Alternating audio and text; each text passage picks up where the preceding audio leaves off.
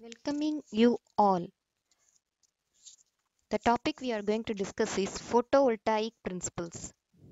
I am Dr. B. Sivasankari, Assistant Professor, Department of Physics, the SFR College for Women, Sivakasi. Uh, before going to going into this topic, you should know what is a photon. Energy on a microscopic scale is transferred not continuously but in discrete pieces. These discrete pieces, smallest of which is called quantum. The packets of energy in quantum is called a photon.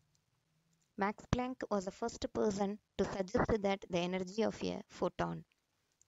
It is given as E capital E suffix P equal to h nu. Nu can be written as C by lambda. The value of h is h is a Planck's constant. Its value is 6.625 into 10 power minus 34 joule second. Nu frequency of radiation. It is expressed in hertz. Then c speed of light 3 into 10 power 8 meter per second. Then lambda is the wavelength of radiation expressed in meter. So based on this formula, we can solve a problem. So substitute the given datas, uh, then we can find out the energy of a photon. Okay. The radiation from the sun or any other radiant source is therefore composed of energy chunks, energy packets. When photons from the sun are absorbed in a semiconductor, they create free electrons with higher energies than the electrons which provide the bonding in the base crystal. What they are saying means the sun in a, the sun's energy in the semiconductor sun's energy is very much greater than the energies from the base crystals. Once these free electrons these electrons we are saying it is free electrons. Once these free electrons are created there must be an elect electric field to induce these high energy electrons to flow out of the semiconductor to do useful work. Okay we are going to see the description of a typical n or p type photovoltaic effect. Okay the, before going to see this the photovoltaic effect can be observed in nature in a variety of materials. But the materials that have shown the best performance in sunlight are the semiconductors. So the best performed materials in sunlight is the semiconductors. The semiconductor uh, uh, as we know already that the two types of semiconductors are the n type or the p type. Okay mm, okay we can go into the description of this uh, diagram the photovoltaic effect can be described easily for PN junction in a semiconductor. In an intrinsic semiconductor such as silicon, each one of the four valence electrons of the material atom is tied in a chemical bond and there are no free electrons at absolute zero.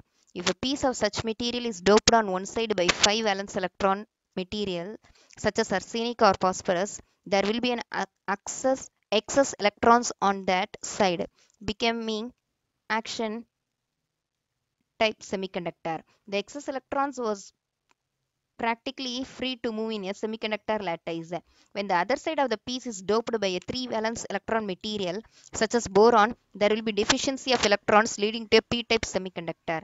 This deficiency is expressed in terms of excess of holes free to move in the this deficiency is expressed in terms of excess of holes free to move in the lattice. Such a piece of semiconductor with one side of the p-type and the other of the n-type is called a p-junction. This figure is showing a p-n junction. Okay. In this junction, after the photons are absorbed, the free electrons of the n side will tend to flow to the p region to compensate for their respective deficiencies. This diffusion will create an electric field from the n region to the p region. This field will increase until it reaches equilibrium, the sum of the diffusion potentials for holes and electrons. Okay, so here if you see means you can understand in this figure. If electrical contacts are made with two semiconductor materials and the contacts are connected through an external electrical conductor, the free electrons will flow from the n-type material through the conductor to the p-type material. So this is clearly uh, evident in the shown figure. Here the free electrons will enter the holes and become bound electrons. Thus the both free electrons and holes will be removed. The flow of electrons through the external conductor constitutes an electric current. which will continue as long as more free electrons and holes are being formed by the solar radiation. This is the basis of photovoltaic conversion, that is the conversion of solar energy into electrical energy. The combination of N-type and P-type semiconductors thus constitutes a photovoltaic cell or solar cell. All such generate dielectric current which can be converted into alternating current as desired. So this is a typical solar cell showing the physical arrangement of the major components.